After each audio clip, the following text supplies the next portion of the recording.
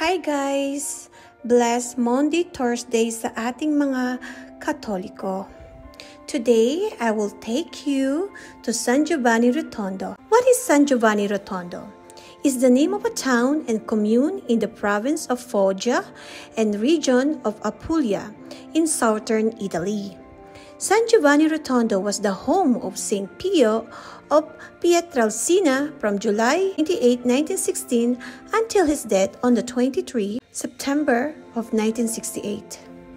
Who is Saint Pio? Whose feast we celebrated on September 23 is one of the most famous and beloved saints of the 20th century. As a humble Capuchin priest, he was the recipient of some of the most astonishing spiritual gifts, the stigmata, bilocation, healing, prophecy, and the ability to read soul. He quickly gained the attention of thousands due to the countless miracles attributed to him. Crowds travel from all over the world to meet him or to have him hear their confession. To this day, the story about his miracles continue to inspire belief in those who were previously skeptical.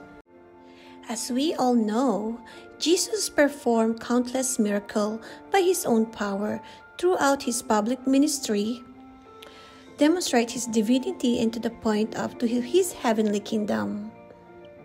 Of course, the saints do not perform miracles by their own power, but are channels of God's power.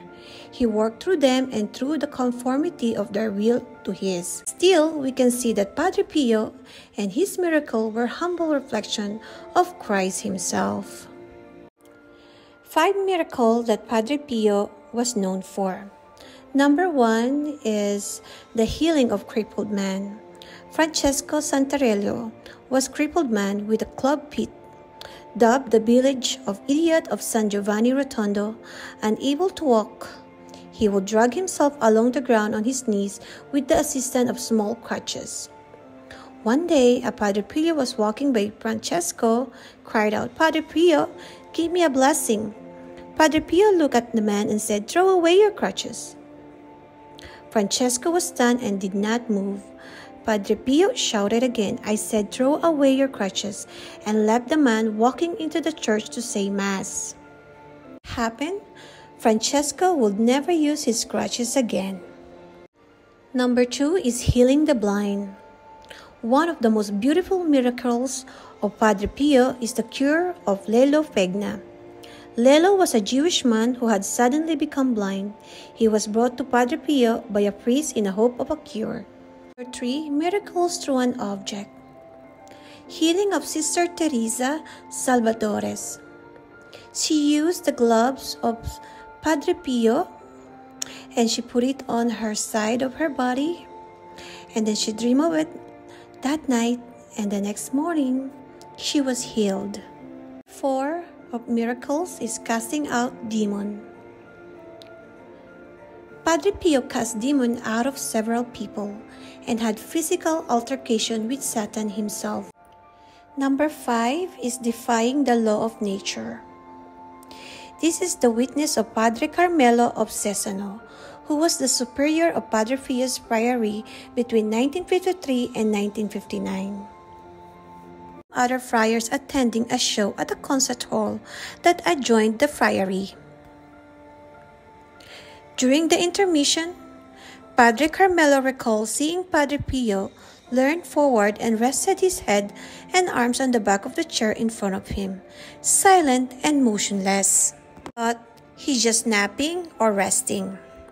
But the next morning, the family of a sick man came to see him and they said that they saw Father Pio in their house and healing his family. Now that explained him why Padre Pio was motionless or napping that time. Padre Pio was once asked by a sick woman whom he had cured if he was a saint. No, he replied, I am a creature who served the Lord through his miracle. Padre Pio did not like attention he received from being a miracle worker. Whenever a person came to him for a cure, he usually gave a quick reply such as, Let us pray to God. He always made sure to point people back to the source of the miracle, and that is God.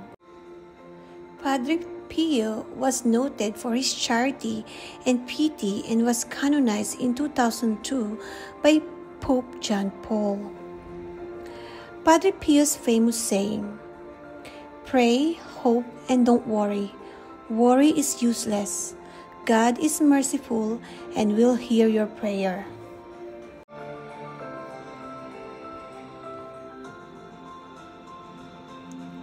Thank you guys for watching. Please like, follow, and subscribe. Thank you.